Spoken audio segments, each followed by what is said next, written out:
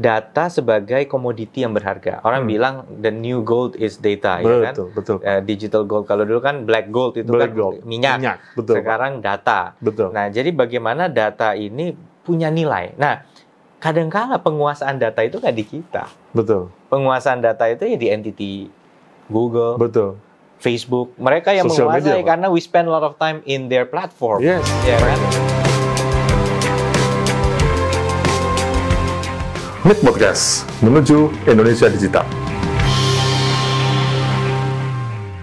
Jumpa lagi dengan Mid Podcast. Kali ini sebuah kehormatan buat Mid Podcast untuk bisa hadir di kediaman Wakil Gubernur Jawa Timur, Pak Emil Dardak. Selamat pagi Pak Emil. Selamat pagi. Sehat selalu moga-moga Pak. Waalaikumsalam warahmatullahi wabarakatuh. Ya. Terakhir saya ngelihat di TV-nya kemarin jajaran sama Ronaldinho tuh Pak. Gimana tuh Pak? Ya karena diadakan di Malang ya. Oh, iya. Kita Ha. seneng banget Mas Hmm. Raffi Ahmad dan Iya. kawan-kawan dari Ha. Rans Entertainment Hah? memilih Kanjuruhan Malang ya. Ya betul. Stadion salah satu stadion kebanggaan masyarakat kita Iya. dan di sana juga eh, apa? Ya Ronaldinho diajak kan Iya. ini sport sportainment kan. Kita Sportainment. pengen bahwa masyarakat juga antusias sama olahraga sebagai Betul. sebuah hiburan yang ber- ber- bermutu gitu. Iya betul. Dan gimana Pak mereka? Masih bisa main nggak Pak Ronaldinho tuh Pak? Yang Ronaldinho kan cuma seru-seruan Seru aja, ngumpanya udah nggak bisa yang lari jelas, kali. Yang jelas yang dia tuh kan punya katanya punya kemampuan pasti nggak perlu lihat orang dia udah punya feeling Betul. ini bola nyampe ke mana. Kayaknya itu benar. Bener Pak, ngelihat itu kemarin Pak. Karena nggak pernah satupun pasnya dia miss. Skill. Nggak pernah. itu talent gift ya Pak pasti. Kayaknya itu talent dan itu dia santai-santai aja gitu. Jadi merem aja kali bola lewat kali Pak. Cuman ya dia tidak mau mendominasi permainan juga gitu. Oh, oke. Kan lebih Iya. lebih enjoy juga kemarin. Malah katanya Mas Rudi Salim kan, waduh pemain kitanya yang terlalu serius gitu kan. nggak nggak fun kali mungkin Katanya. grogi juga kali Pak sama ya Ronaldinho. antara grogi, antara nggak pengen kelihatan inferior kan Iya, macam-macam betul. ya gitu Betul, ya. betul, Pak. tahu lah saya tapi overall it was a good game dan uh, penontonnya juga enjoy, Oke. tertib, seru, asik gitu. betul Jadi betul. ya seneng seneng banget. Iya. Dan katanya mau kerja sama sama Raffi untuk animasi Kota Malang gitu Pak. Konsep saya lagi sana. mencoba meyakinkan sih lebih tepatnya bahwa uh, talenta-talenta di Malang ini Iya. banyak sekali yang potensial Ah. untuk animasi Iya. dan uh, ya Mas Raffi kan dari sisi anunya ya dia punya IP-nya Betul. intellectual property terus dia bikin gitu ya Betul. uh, konsep ceritanya nah nanti Iya. yang me- mengerjakan sesuai dengan storyboard dan lain-lainnya biar Hmm. teman-teman dari Malang Oh, itu idenya yang lagi betul, kita betul. bahas tapi ya masih berproses. Hmm. Tapi sekarang udah jalan klaster animasi udah jalan dengan Lokanima. Lokanima ini sebuah agregator konten lah yang Hmm. dibentuk oleh pengelola KEK Singosari. Hmm. Kemudian dia akan memasarkan itu kepada publisher-publisher Iya. animasi termasuk ke stasiun-stasiun TV baik itu kabel ataupun OTT Betul. ya eh, platform untuk untuk animasi. Oke. Ya. Semoga sukses deh Pak. Pak. Raffi juga bisa join untuk bisa animasi di Jawa Timur dan Kota Malang Mudah-mudahan, pada khususnya. Insya Allah begitu ya Pak.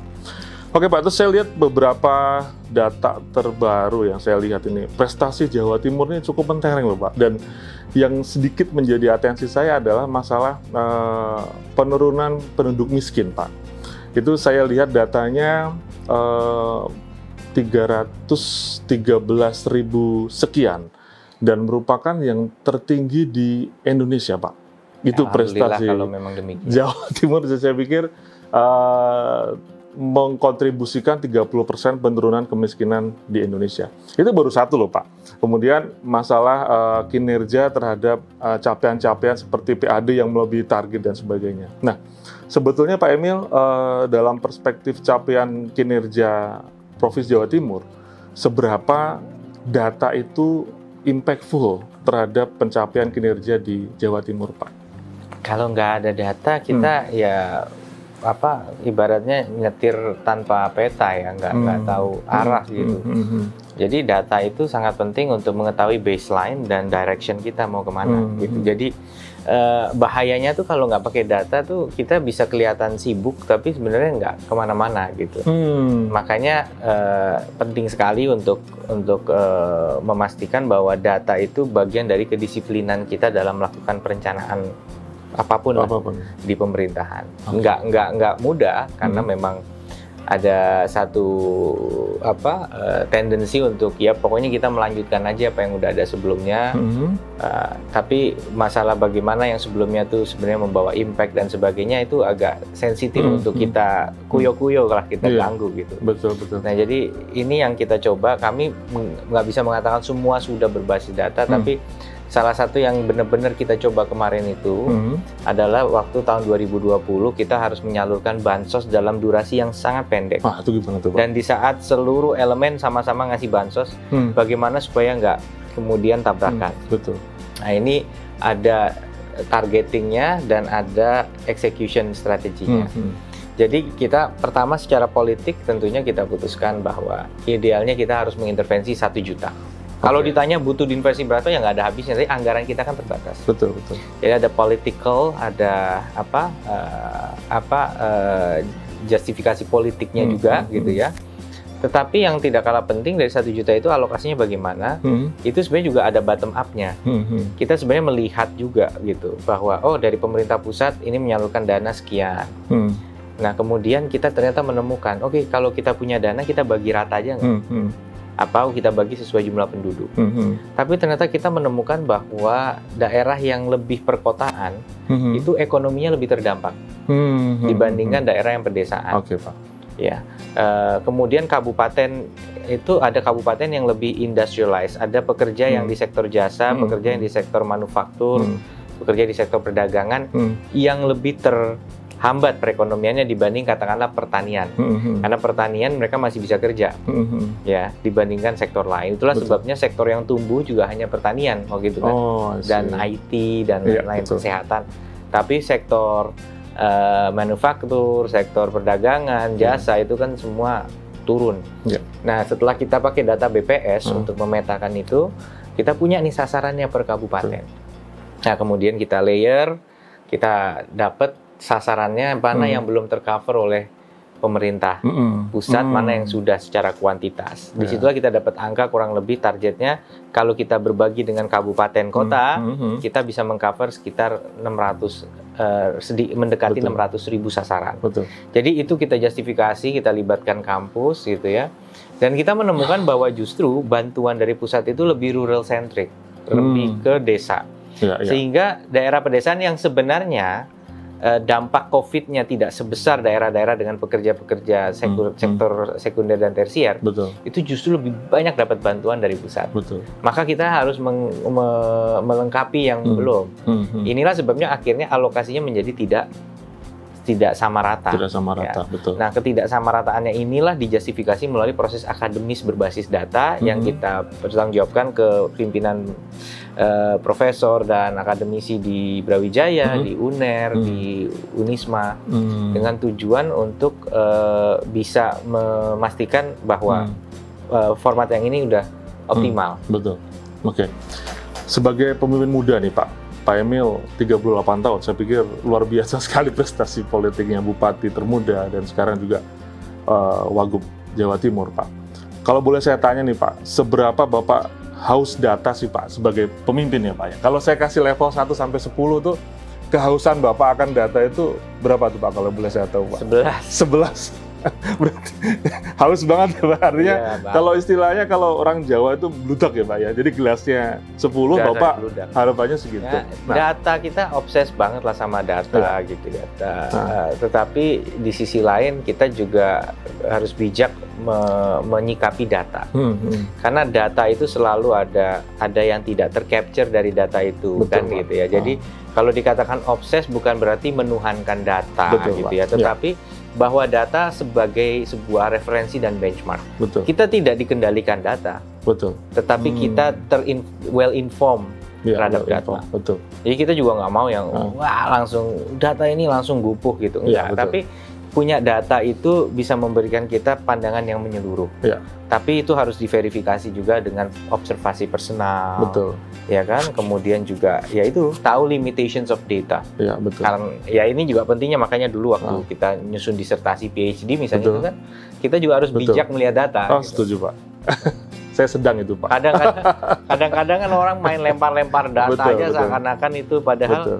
sebenarnya juga kita tahu bahwa Ya. ada limitations dari data-data Betul. itu. Ada yang tidak bisa diukur oleh instrumennya. Tapi kalau kita mengabaikan itu karena Betul. kekur- kekurangan datanya tadi ya kita juga akan lebih Oke. lebih insting driven dan Betul. insting driven itu ya ya sangat high risk. Betul. Secara organisasi nih Pak, Bapak sebagai wak- eh, wakil gubernur, yang supply data itu siapa Pak? Bapak punya tim khusus Bapak yang supply data Bapak, atau kalau eh, kita melihat di Perpres 39 2019 tentang satu data, kita memiliki wali data yang namanya Dinas Kominfo. Nah, sebetulnya supplier data Bapak itu secara organisasi, selain mungkin Bapak juga observe sendiri ya Pak, itu siapa Pak? Dan gimana mekanisme di internal organisasinya? Ya, saya melihat bahwa menaruh Kominfo sebagai wali data itu inline dengan konsep digitalisasi Hmm. Iya, hari betul, ini.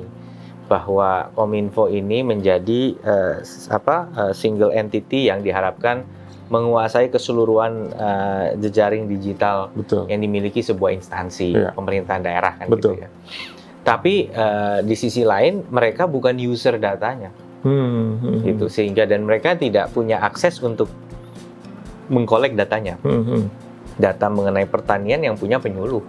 Penyuluh Betul. pertanian. Dinas pertanian data mungkin juga. pendidikan yang punya. Dinas pendidikan Betul, gurunya dan sebagainya. Nah satu data ini kan mengharapkan bahwa eh, ada sebuah namanya sering orang nyebutnya data lake ya. Sebuah danau, Danau data, data, gitu yang betul. di mana data apa pun itu jangan kemudian kalau saya nyari data saya harus pergi ke sana pergi ke sini Hmm, Oke. kumpulkan di satu tempat. Kenapa? Karena eh, kita ingin menghindari eh, ego sektoral dalam pengelolaan data tadi. Nah, betul. Karena data dinas A bisa bermanfaat untuk dinas C, Betul. Eh, tetapi kalau dikelola sendiri-sendiri tidak ada sinergi data. Oke. Maka Kominfo dianggap sebagai pihak yang paling kompeten untuk menjadi wali data tadi. Oke. Tapi apabila kita tidak kelola ini dengan tepat, yang Hmm. terjadi justru dua-duanya malah nggak jalan Hmm. yang sektor nggak jalan, yang kominfo juga mandek gitu. Hmm, hmm. Nah di sinilah maka dibutuhkan sebuah apa eh, sebuah pemahaman bahwa ini bukan kominfo mengatur-ngatur dinas, Hmm, hmm, tetapi hmm, hmm. kominfo mewadahi, memberikan satu tempat Hmm, hmm. bagi dinas. Oleh karena itu kominfo harus menjadi service driven. Service driver. Jadi justru dia pelayan bagi dinas-dinas lain Hmm, untuk pengelolaan data yang lebih efisien, yang Hmm. lebih handal, yang lebih baik gitu. hmm, hmm. Nah inilah yang sedang kita coba lakukan. Hmm, Eh, ada orang nyebutnya data lake, ada yang sebutnya data warehouse ya. Betul. Atau mungkin Dan big orang- data kali Pak? Nah, nanti larinya ke sana. Oke. Nah. Tapi big data itu sebenarnya bukanlah sekedar mengelola data yang sudah kita punya. Hmm, I see, Pak. Jadi kan ada data yang diperoleh dengan instansi kita melakukan kegiatannya. Ya. hmm, Ya, sehari-harinya mereka ketemu Betul. dengan data. Betul. Eh, sekolah akan punya data nilai murid, absensi murid dan Betul. sebagainya, ya kan? Begitu pula pertanian, dinas Hmm, sosial, dia tahu dana apa yang disalurkan. Hmm. Nah, data-data ini kadang-kadang karena tidak terkelola dengan baik, jangankan untuk disetor di Kominfo, Hmm, ini yang satu yang kita khawatirkan. hmm.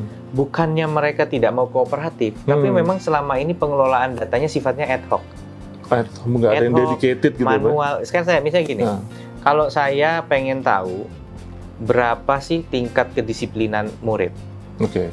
caranya pakai apa? Mungkin ada absen tertulis ya, Betul, absennya betul. ditaruh di rak, di, Betul. di file, filenya ditaruh. Gimana cara narik data segitu banyak? Iya. Susah kan? Betul. Itu pun kalau jujur, kalau ada yang titip absen. Tapi kalau kita menggunakan fingerprint, Fingerprint. Oke. automatically masuk ke dalam database, Heeh. maka agregasinya menjadi jauh lebih mudah. Betul, betul, Pak. Nah, budaya mengelola data inilah yang harus juga kita benahi di Betul. masing-masing OPD, di Betul. masing-masing perangkat daerah. Betul. Kominfo punya tugas mensupport proses transformasi itu. Iya, iya. Bukan mengatur, tapi mensupport. Betul. Kalau ownership-nya tidak ada di kepala dinasnya, maka sebenarnya setiap dinas juga harus punya CIO sebenarnya, Chief Information Officer. Setiap dinas menurut Bapak ya? Menurut saya harus ada. Oh, Oke. Setiap dinas harus punya punya juga karena Hmm. kalau semuanya dilepas, mereka akan merasa tidak punya kendali pada datanya. Hmm. Dikit-dikit saya harus ke Kominfo. Iya. Jadi Kominfo harus punya satellite office within Oh, dinas menurut saya, supaya dinas itu benar-benar ngerasa saya masih grip nih sama data saya. Oke. Tapi juga sebenarnya data ini tidak berjalan sendiri gitu. Ah, ah. Itu. Nah, pada saat kita ingin mendorong sebuah sistem yang lebih centralized, Ah. maka kelemahan-kelemahan dalam pengelolaan data, kedisiplinan dalam pelaksanaan SOP itu akan terekspos. Hmm, hmm. Itu yang membuat challenge besar Iya, dalam betul. mengagregasi data tadi. Iya, iya, iya. Kita biasanya kita punya di pemerintahan tuh ada sistem penilaian kinerja. Betul. Itu memang diharapkan kita punya periodik Hmm, hmm. periodic assessment. Ya, ya, ya. Ya, sekarang yang paling sering kita lakukan lebih kepada capaian fisik dan capaian serapan anggaran. Iya. Itu aja yang Ya, selalu. itu betul. Karena BPKAD keuangan selalu monitor Nilainya itu gitu ya, Pak ya. Tapi sebenarnya yang lain-lain gitu jarang. Gitu, Iya, iya, misalnya. iya. Kayak bagaimana sih sebenarnya nilai rata-rata anak-anak eh, sekarang? Ya. Ada nggak penurunan nih ya? Hmm. Atau justru naik nih sejak pandemi mulai mereda? Hmm. Apakah mulai naik? Betul. betul. Apakah ada absensi sakit meningkat atau enggak? Kan kayak gitu. Betul, betul. Oh ini di daerah yang lagi kena penyakit mulut dan kuku. Ada Betul. nggak nih prestasi anak-anak tingkat kehadiran mulai turun karena Betul. orang tuanya stres. Betul. Ini basis peternakan. Nah ini yang Betul. kita sebut tabulasi cross sektor, apa Oh. cross tabulasi data. Betul. Nah ini sudah kita kenalkan dari 2019-2020. Hmm, hmm. Itu adalah cross tabulasi data. Hmm, hmm. Nah untuk cross tabulasi data kita perlu sebuah common denominator atau sebuah unique ID, ID kan? betul, betul. Nah, unique Iya, ID iya. ini hari ini kita menggunakan NIK, nomor induk Oh, kependudukan. jadi oke. Jadi si Fulan itu kalau di dinas sosial dia mungkin penerima bansos. Oke. Kalau di dinas pendidikan dia wali murid di Betul. sekolah swasta misalnya. Kalau dia di dinas pertanian dia mungkin anggota kelompok tani. Kalau dia di dinas lain dia apa? Nah, yang terjadi sekarang semua orang ngetok pintunya dia sendiri-sendiri. Ya, jadi banyak datanya. Jadi banyak, jadi dan jadi nggak nggak sinkron. Iya, iya, iya. Tidak sekarang kita bilang oke kuota pupuk subsidi terbatas. Siapa Hmm. yang harusnya dapat? Ya Fulan, Fulan miskin misalnya Hmm, gitu hmm, kan, hmm, hmm. gitu kan. Hmm. Eh, saya menggunakan istilah fulan karena ini standar ya, bukan no, no, no, non ini against fulan gitu. Iya. Tapi mohon maaf, tapi kan kita Iya. di Islam kadang-kadang Betul. nyebut somehow, Some- someone itu dengan nama Someone. fulan Oke, gitu. Pak. Betul, Pak. Jadi mohon maaf kalau ini, tapi Iya. mau nggak mau atau si A gitu lah. Betul, Pak. Si A ini si A ini kan masuk kategori miskin misalnya Betul, gitu kan. Ya. Nah, ya harusnya dia dong yang dapat pupuk subsidi. Tapi data ini nggak match, nggak. Ya. Jadi dijalanin sendiri. Sehingga kadang-kadang malah yang dapat pupuk subsidi yang paling butuh malah yang yang uh, nggak dapat gitu. Yang Betul. dapat malah mereka yang justru lebih lebih kondisi Betul. ekonomi lebih baik. Betul. Nah, kemudian pada saat misalnya kita tahu, oke dia makin miskin dapat bansos dia, dia di Hmm. sekolah swasta kita harus pikirkan jangan sampai putus sekolah. betul. Bagaimana masalah SPP-nya, gitu betul, ya. Betul. Nah, kemudian di dinas apa lain-lain gitu juga harus kita. Nah, inilah manfaat dari mencoba melakukan cross tabulasi data berbasis NIK. Hmm, Jadi setiap orang itu setiap di, orang itu di dia punya keterkaitan dengan dinas-dinas itu dan Iya. datanya bisa kita langsung Oke. eh, load. Nah, ini yang kita sebut sebagai eh, apa eh, JEDI waktu itu Jatim Jatim Enhanced Data Insights kalau Hmm, namanya. Betul, betul. Nah, sekarang tapi kemudian ada tantangan-tantangan yang Hmm. dihadapi oleh tim waktu Ya. itu terkait dengan ya budget limitations dan lain sebagainya. Jadi beberapa sistemnya itu ternyata open source dan berbalik menjadi berbayar. Iya, biasa Nah, begitu, dan Pak. government itu ada nggak berani untuk terlalu langsung masuk ke sesuatu Betul, yang Pak. license fee-nya tinggi. Betul, betul. Sehingga ada migrasi sistem dan lain-lain. Ya, tapi sekarang sudah mulai muncul. Jadi ada Betul. ada banyak platform yang memungkinkan dia untuk eh, menarik data dari data warehouse Hmm. gitu ya. Kemudian bisa ditabulasi dan ditampilkan secara visual. Oh, Iya. Ada kunci tadi Pak, masalah NIK Pak. Dan memang eh, data induk kependudukan itu kan menjadi eh, seperti pivot gitu yang akan nyambung ke mana-mana Pak.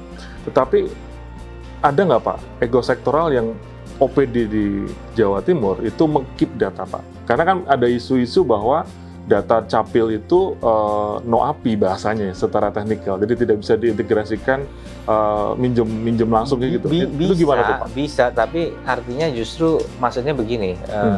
apa eh, sebenarnya Hmm. eh, Dukcapil itu punya akses ke data yang sifatnya itu batch ya, bukan real time ya. Betul. Jadi misalnya di certain time dia bisa Nah, download hanya untuk betul. wilayahnya. Betul. Jadi kalau saya Jawa Timur ya hanya NIK yang terdaftar di Jawa Timur. Saya Hmm. nggak bisa ngintip ke Jawa Barat, ke Jawa Tengah. Semuanya decentralized di Dukcapil. Betul. Kalau kita perlu verifikasi harus menggunakan API sebenarnya. Betul. Tapi proses API sendiri per ID dicek itu kan lama. Betul. Sedangkan kadang-kadang kita punya satu juta yang ingin kita cross check. Betul. Nah, Maka kami waktu itu terpaksa membypassnya dari Dukcapil pakai data offline-nya. Hmm. Data offline-nya aja walaupun tidak paling update cobalah dulu di running gitu. Oh. Karena kalau enggak, sa- misalnya katakanlah satu nama eh, satu Iya, iya, menit iya. gitu ya prosesnya, ya satu juta nama satu juta menit, gimana kapan Iya. selesainya? betul betul. Nggak mungkin gitu. Jadi itu kan memang jalan per transaction. Misalnya kita ada orang walk Betul. in, kita mau verifikasi KTP-nya kita API gitu, Betul. itu mungkin. Nah ini inilah yang sedangkan kalau kita pakai itu bukan pakai API langsung batch aja thread gitu Iya. kita lakukan sebuah screening antara data NIK oke mana yang invalid mana yang NIK-nya double mana yang satu kakak itu bisa kita cari semua Oh. gitu Tapi itu karena memang instruksinya Pak Emil, Pak. Kan ada beberapa daerah yang mungkin belum punya keberanian untuk mengambil nggak data tahu mix. saya, Saya pikir nggak ngintip daerah lain. Enggak, tapi saya beberapa pengalaman daerah. Nah, makanya tadi bilang, wah Cuman ini karena kita enak komunikasinya sama Prof Zuda, Nah, Dirjen itu. Dukcapil, enak kita koordinasinya Nah, sama beliau. itu penting, Pak. Ya, saya pikir itu impact dari uh, Pak Emil yang memiliki awareness. Bapak uh, mungkin baru pertama kali wawancara uh, wakil gubernur tapi mengerti API, Pak. Loh, ini orang IT banget nih, Bapak. nih. Soalnya itu sering jadi alasan bahwa sesuatu nggak tercapai. Pak, ini API-nya nggak bisa, Pak. Oh gitu ya Pak ya. Bapak Bapak paham itu berarti ah enggak nih kayak gitu-gitu Pak. Saya nggak jago-jago banget soal itu, tapi minimal tahu untuk mengerti apa sih yang lagi diomongin sama tim saya ini gitu Iya, loh. betul. Kenapa jadi masalah dan saya Ah. harus ngomong apa ke Pak Dirjen kira-kira Oh, gitu lah. I see. Terus eh, masalah apa namanya di kepala dinas lah Pak. Kita bicara kepala dinas kepala dinas kan tadi Bapak bilang eh, semestinya mereka menjadi CIO, Chief Information Officer yang Oh bukan kepala dinasnya, somebody harus di Oh, situ. somebody-nya. Apakah sekretaris dinas, Oh. apakah apa gitu. Tapi when no one, when everybody is in Iya. charge, Iya, no one is in charge. betul. Kalau kita ngomong semua orang sama-sama tanggung jawab, akhirnya malah nggak ada yang tanggung jawab. Betul, betul. Jadi tetap harus ada nih Siapa pun itu Pak yang ya. bisa dikejar, Ah, ah, ah. yang yang bisa dikejar kalau itu. Oke. Nggak, ya mana mau lah saya kepala dinas Hmm. apa, terus Hmm. kalau perlu apa-apa saya harus ke kominfo kan lucu. Betul, betul. Jadi justru harus ada di sini gitu. Betul. Nah tapi ya nanam orang yang kemudian ya, bisa synchronize datanya ke dalam eh, apa ya servernya yang ada di kominfo tadi. Oke. Pak, eh, ada suatu sedikit tagline lah bahwa satu data Indonesia ini menjadi the new NKRI, Negara Kesatuan Republik Indonesia. Kalau dulu kita dalam Sumpah Pemuda, satu bahasa, satu bangsa, satu tanah air.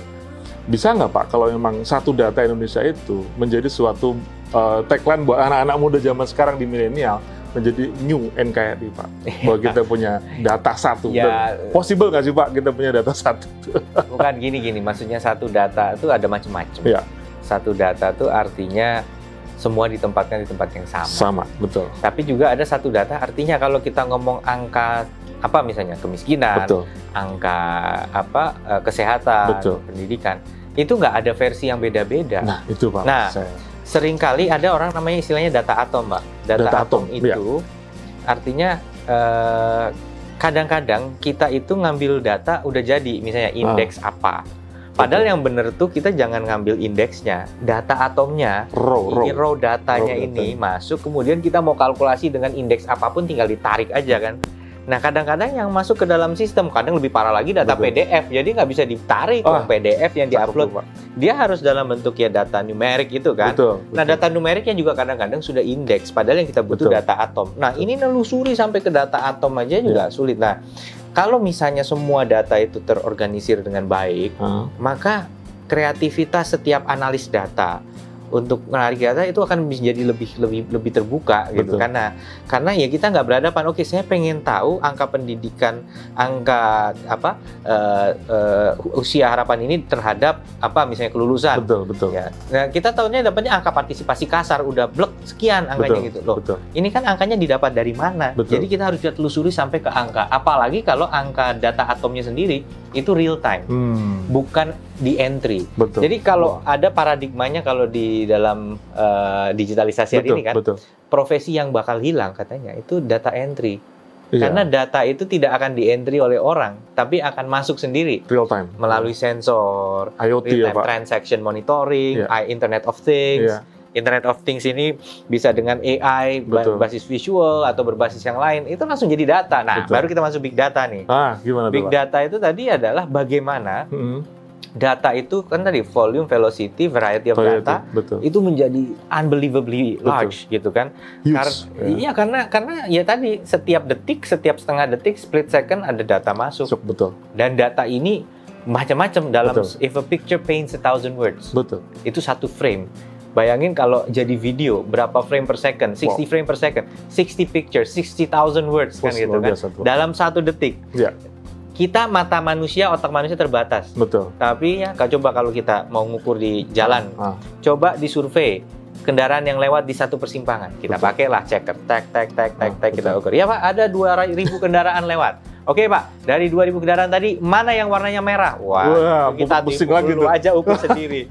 Nggak mungkin, tapi kalau komputer, Yes, yes. dengan baca video dia bisa cari kan. Betul. Oh, yang Jeep, yang platnya ini, yang platnya luar kota, Betul. yang apa, segala macem. Betul. Bisa. Betul. Yang semobil berdua, yang semobil sendiri, dan Betul. macam-macam. Betul, Pak. Karena ya tadi dia bisa menggunakan apa AI, vision artificial intelligence Betul. gitu. Dan dari situ data yang bisa diekstrak unbelievable. Nah, the Oh. question is tadi balik satu data. Betul.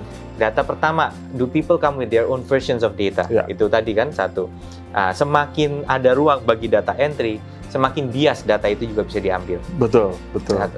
Yang kedua adalah data sebagai komoditi yang berharga. Orang Hmm. bilang the new gold is data, ya kan? Betul, betul. Eh, digital gold kalau dulu kan black gold itu Black kan gold. minyak. Minyak, betul. Sekarang data. Betul. Nah, jadi bagaimana data ini punya nilai. Nah, kadangkala penguasaan data itu nggak di kita. Betul. Penguasaan data itu ya di entity Google, Betul.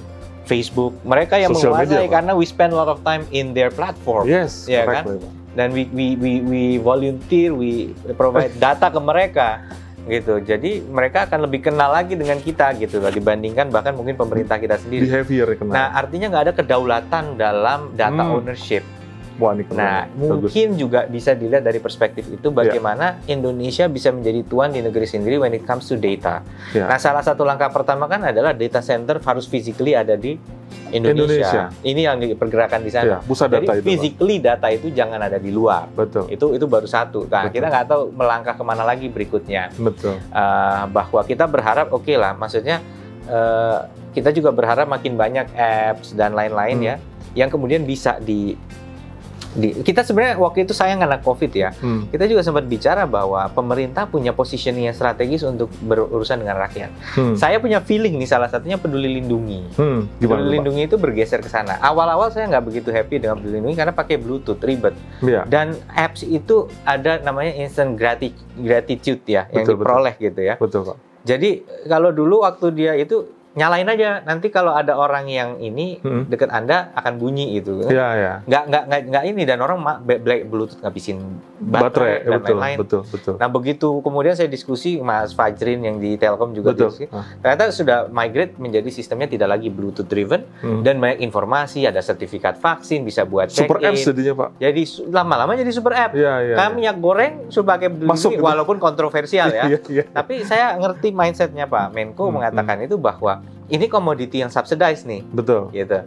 Ah, daripada bikin apps, apps, apps, apps lagi sendiri-sendiri. Dan itu Betul. terjadi bahkan di pemprov juga. Betul. Semua dinas bikin apps sendiri-sendiri. Ya. Jadi kenapa nggak satu apps, super apps, kemudian setiap fitur itu bisa diunduh belakangan. Hmm. Kayak kalau kita lihat eh, Gojek ya, dia ada GoGive, ada apa? Wah, komplit, untuk Pak. untuk itu itu nggak langsung bisa go gift-nya harus kita unduh dulu ada menu tambahan dulu Betul, misalnya betul. nah kita bisa jadi satu entry ya, Hmm. nah ini yang disebut single sign on juga mungkin berkembang Betul. jadi bagaimana kemudian oh orang ini registered kalau sekarang kita mau programnya dinas kelautan bikin lagi account Betul. ke program dinas pendidikan bikin Satu lagi lagi. account harus satu aja sebagai warga Jatim ini account Ah. saya saya bisa akses semua layanan Betul. itu sebenarnya yang ingin dicapai melalui peduli lindungi on the national scale gitu Paham, bahkan ya akan jadi macam-macam bahkan kemarin kita ya macam-macam saya ada yang nggak boleh saya bocorin ya karena rapatnya masih internal tapi peduli lindungi adalah contoh bagaimana nah Hmm. akhirnya mulai dikritikkan sama orang luar Hah?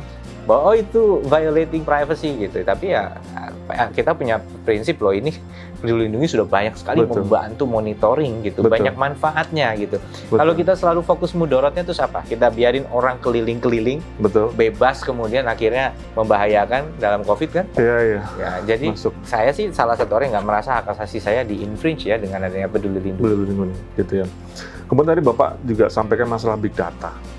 Pengen punya big data nggak Pak? Jatim Pak? Kita malah klaim sebenarnya sudah ada oh, langkah sudah ke ada. sana. Oh, sudah ada langkah. Sudah ada langkah ke sana Gitu. karena kita sudah melakukan tadi apa beberapa data crawling ya. Data Salah crawling, satu betul. sumber big data itu selain dari ya Structure. IoT Iya. ah. eh, juga dan kita sudah menerapkan IoT di beberapa titik Hmm, gitu ya hmm, melalui kerjasama dengan Betul. beberapa Betul. apa IT firm yang ada di. Indonesia.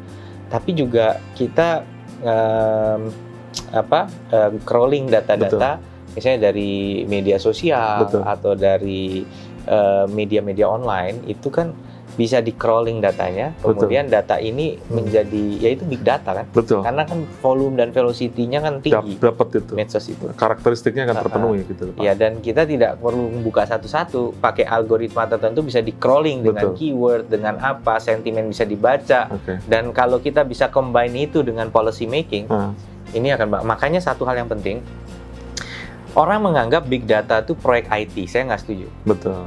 Big data itu mindset, Mhm. mindset bahwa dalam merencanakan segala sesuatu Hmm. kita harus punya pemahaman bahwa ada loh di luar sana tuh data tersedia Mhm. yang mungkin sangat berharga, gampang diakses gitu Betul. ya, dan bisa menjadi analisa yang sangat-sangat eh, berharga Betul. gitu. Maka data scientist tuh nggak necessarily harus programmer, Iya. tapi mereka nggak bisa buta terhadap IT karena Hmm. cara memahami big data adalah memahami bagaimana IT merubah landscape dari terciptanya data creation tadi. Betul, data creation. Iya kan? Betul, betul. Jadi dia harus juga paham, eh Betul. kita tuh bisa loh ngambil data kayak bagaimana Pak Ah, Menko Marves dan para menteri kemudian misalnya menggunakan Google Mobility untuk memonitor penanganan PPKM, betul. ya kan? Itu kan ya dia bukan programmernya, tapi dia Oh. punya sense gitu timnya. Eh pakai aja data Google Mobility, Oke. kita bisa tahu. Pakai data Google Lights, kita bisa tahu. Jadi Oke. ada data-data yang ya tadi dari data menjadi informasi itu kan melalui proses analisa. Betul. Ini ini kita pengen Hmm. melangkah ke sana gitu. Betul, Jadinya oke. bagaimana kita bisa apa eh, me- me- membangun eh, sebuah tadi yang kita katakan big data Betul. tadi adalah bagaimana analisa kita ini bisa ya tadi kita bisa menghargai data-data yang tersedia di Betul. luar tadi. Nah makanya Bapeda Oh, beda gitu. itu justru penting Oke. karena mereka kan yang merencanakan. betul, betul. Jangan malah dianggap proyek IT. Akhirnya orang asumsi big data itu apa sih? Mau dong lihat big datanya, dianggap dengan kita ngelihat layar. Oh ini keren ya. Oh, ya, tren. ada, ada comment center. Oh Hmm. kayak Star Trek kan asumsi gitu kan? Iya, betul, betul, betul. Big data tuh kayak komen. Bukan, Hmm, bukan. hmm, Big data itu isinya ya orang-orang kreatif hmm. yang bilang ah saya bisa memecah- eh, membaca masalah kemiskinan justru dengan narik data medsos. Oh apa hubungannya kan gitu kan? betul. dan dan data itu sangat mudah diraih, sangat Betul. mudah diperoleh ya kan efisien Betul. gitu kan. Iya, karena coba lihat deh di medsos tuh nanti kelihatan tuh misalnya eh, dari hashtagnya lah atau dari apanya kita tahu nih gitu kan nih Betul. data kemiskinan, data apa. Itu bisa kelihatan misalnya. Nah, jadi bukan jangan dibayangkan tuh proyek IT pengadaan ini bukan.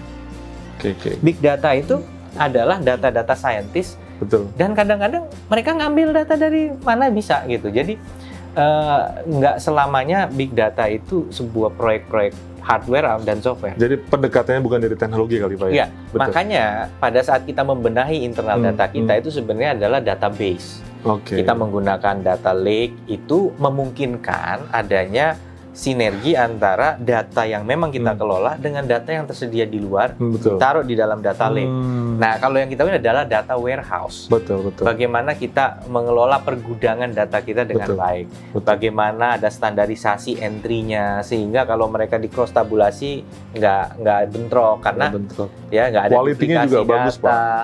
semua bisa Cleansing, ditelusuri, cleansing-nya data cleansing ya betul, kan. Betul. Heeh.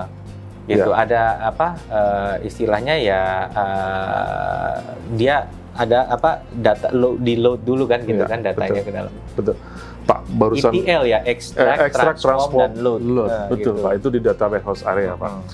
Pak, sampai waktu ini saya bisa bilang nggak Pak? Ini Pak Wagub yang IT banget Pak. Karena omongan Bapak ini omongan IT banget loh Pak. Bapak ngerti ETL, Bapak ngerti IoT ini gila nih Pak. Saya dulu ke SMP sukanya main ke Glodok soalnya.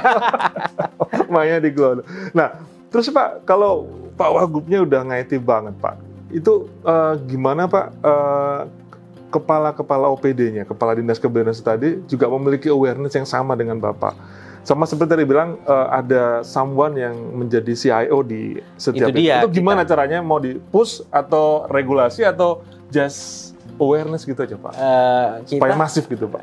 kita memang tidak harus ya Nah. kan sulit itu mencari orang yang punya passion Nah. sedalam itu terhadap IT. Tapi mereka harus harus sadar bahwa Hmm. digitalisasi itu bukan hanya sekedar apa ikut-ikutan atau Betul. tren. Ya. Saya paling seneng ya kalau ngelihat aplikasi Hmm. itu diluncurkan dengan wah-wah gitu. Wah. Saya langsung pasti buka di Google Play. Hmm. berapa sih yang download?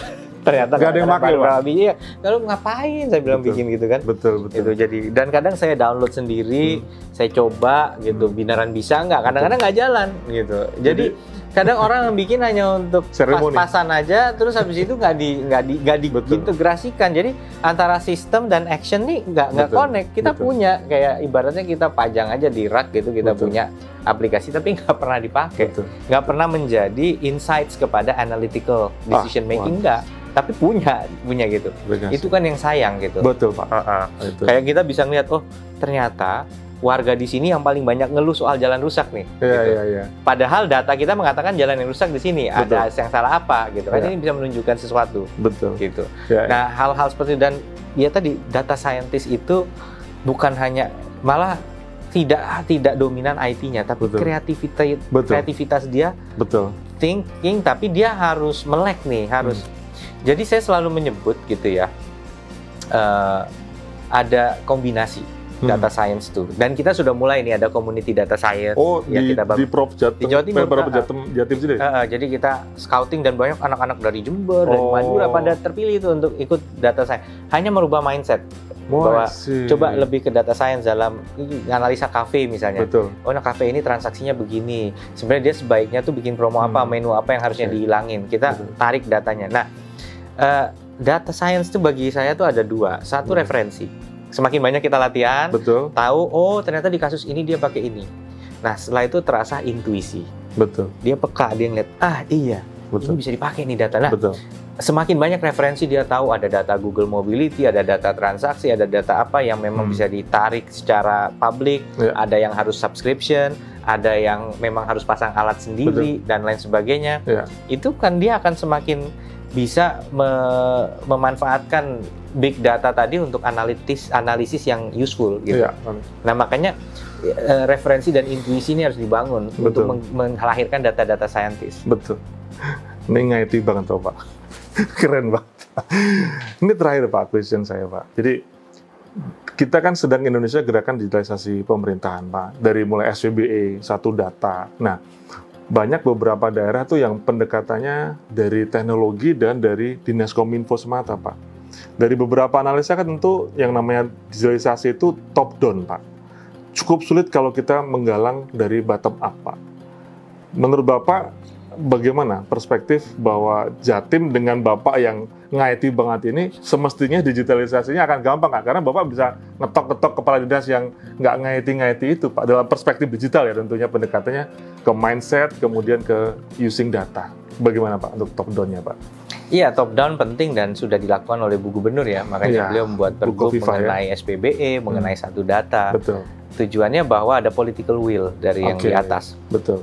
Karena ya ada ego sektoral kan kalau Ah, itu. ketemu langsung gitu. Dan eh, sebenarnya ide kita itu nanti gubernur tuh punya dashboard gitu. Jadi Sudah belum tuh Pak? eh, mulai. Mulai. Tapi dashboard ini mau kita harapkan lebih lengkap gitu ya. Hmm, Jadi ya seorang gubernur bisa ngelihat data dari mana saja. Hmm. Nah kalau kepala dinas tentu ada otorisasinya sebatas apa Hmm, dia bisa hmm, ngelihat. Sekda sebatas mana.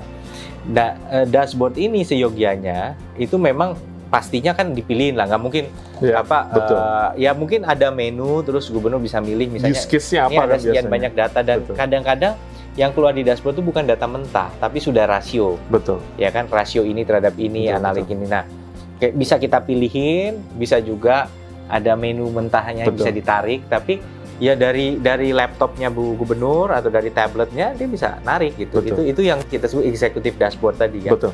nah manakala ini benar-benar sudah beroperasi maka orang akan aware bahwa setiap hari ini gubernur bisa ngelihat data Ah. dan tahu mana yang datanya nggak bergerak Nah, Hmm. harusnya kemudian ada dorongan bagi Pak Dinas yang tidak data driven. Bahkan kita kemarin kan Cewek. bikin satu data award juga kan Betul. untuk memberikan Oh kemarin bu- Eh, minggu kemarin ya kalau nggak eh, salah. ber- tuh. berapa waktu Bu Gubernur Iya. Ah, itu untuk memberikan insentif kepada OPD-OPD dan instansi-instansi dalam luar provinsi mengenai eh, Oh. bagaimana mereka punya komitmen untuk lebih data driven. Waduh, luar Gitu. biasa Kan, Oke, sekarang pertanyaan, oh saya data driven kok? Ya, selama saya nggak tahu Anda nggak data driven, artinya Anda nge-keep data sendiri. Oke. Salah satu ukurnya adalah manakala data itu di store kita dan kita lihat datanya ini valid, update, komprehensif, ya artinya dia sudah sudah baik lah gitu. Oke. Thank you Pak Emil. Sama-sama. Berarti saya lihat bahwa semestinya sih Jatim keren Pak. Karena Bapak data minded dan dat Bapak juga ngaiti kalau orang Jawa bilang. Jadi saya pikir tinggal uh, rekan-rekan di kepala dinas OPD OPD dan juga kabupaten kota yang 38 loh Pak. Terbanyak di Indonesia Pak. Tapi kalau Bapak pimpin dengan data, Bapak memiliki data leadership, saya pikir uh, smart government yang kita canangkan 2025 kayaknya insya Allah bisa terwujud kali ini. Mudah-mudahan. Gitu. Bismillah. Terima kasih Pak Emil Sama-sama. untuk waktunya dan sekali lagi terima kasih saya ucapkan. Terima kasih untuk waktunya. Thank you Pak Emil. Oke, sama-sama Pak. Stop bicara tentang data. Mulailah membuat impact dari data.